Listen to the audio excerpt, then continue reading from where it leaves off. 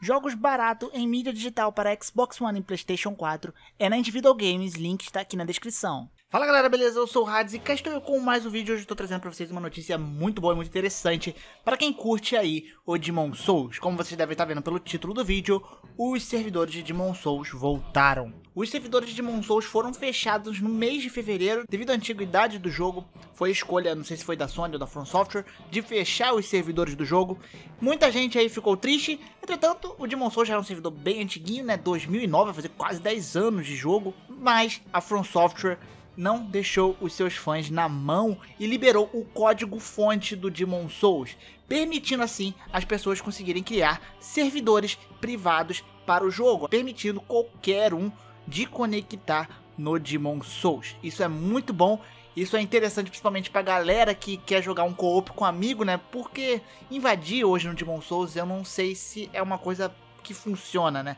O jogo é bem vazio, ainda mais que agora para você entrar nesse servidor privado, você tem que fazer um pequeno passo a mais, então isso vai diminuir muito a galera dentro do servidor. Quando eu entrei, se eu não me engano, tinha 14, ele mostra, tinha 14 pessoas online, então não é um número muito grande, mas é bom, é interessante e é legal pra galera que quer jogar um bom e velho co-op aí com um amiguinho. Inclusive agora foi removido até a restrição de level do jogo. Era, se eu não me engano, 20 levels é, de diferença para cima ou para baixo, mais uma pequena porcentagem ali para você poder participar de um co-op, ou seja, se você estava no level 100, você podia jogar com gente até o level 80 ou até o level 120. Agora não existe mais essa restrição para poder deixar mais abrangente, né, já que o número de pessoas já é pequeno aumentar mais a interatividade das pessoas.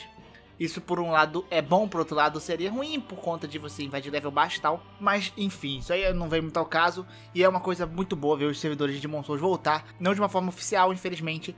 Mas que a empresa não esqueceu dos seus fãs. A From Software foi muito boa desse lado. Eu vou mostrar rapidamente aqui como faz para você configurar o servidor de Demon Souls. Não tem muito segredo na real, né? Você tem que apenas em configurações configurações de rede e depois você for em configurações de rede, você vai em configurações de conexão à internet, ok? E assim você vai fazer as configurações de internet.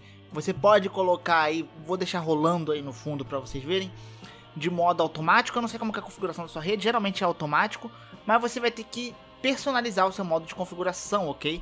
E selecionar aí as configurações. Você vai ter que ficar atento apenas na parte que chega o DNS. Eu fui deixando tudo automático, mas quando chega o DNS você não pode deixar automático.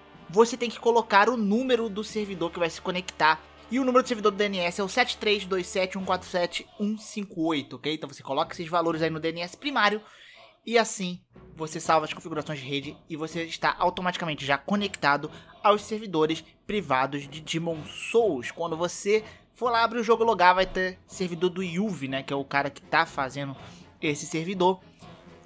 E assim você consegue acessar o online do jogo. Eu estava pensando aqui comigo, né, com essa onda de servidor privado do Demon Souls, eu não sei se aconteceria algo parecido que acontece com o Ragnarok ou com o Mu, né? É basicamente isso que é feito. Eles têm os arquivos do jogo e em vez do jogo ser redirecionado para o servidor original da empresa, é redirecionado para uma terceira pessoa e assim essa pessoa consegue mudar o servidor, customizar a experiência, customizar o drop, assim que funciona no Mu e no Ragnarok. Não sei se com o código fonte do Demon Souls isso será possível, se eles conseguirão mudar o drop, por exemplo, de alguns monstros, que tem algumas stones para você platinar o jogo, que é um cu de conseguir. Eu ainda nem terminei de platinar o jogo. Vou ver se agora com a volta dos servidores eu consigo trocar com alguém essas pedras para não ficar horas e horas. Cara, tem gente que ficou 8 horas direto farmando pedras.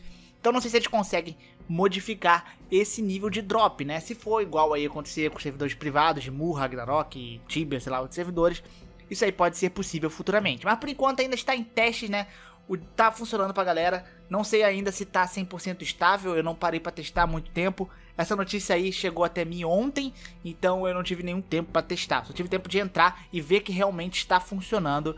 Eu tinha lido que é na, na, apenas nas versões europeias e americanas. Eu não sei como é que funciona no caso do Demon Souls comprado aqui no Brasil. Não sei como que se serve essa restrição de região. O meu Demon Souls é digital, então eu acho que não tem essa quebra de região. Tem que ver se vai funcionar no Demon Souls físico aí da galera. Então vale a pena vocês testarem aí. Eu fico aqui com essa ótima notícia. Deixo aí vocês testarem também. E curtirem aí o Demon Souls quando vocês quiserem online novamente, ok? Não esqueçam de tirar a configuração de DNS se for jogar outro multiplayer que talvez não vá funcionar, ok? Então, se você fez a configuração aí para funcionar o Demon Souls e não funcionar online de outro jogo, provavelmente é esse DNS, tá? Então não esquece de tirar lá. Então eu fico por aqui, deixa o seu like aqui embaixo se você curtiu esse vídeo. Até o próximo vídeo aí, é nóis, fui!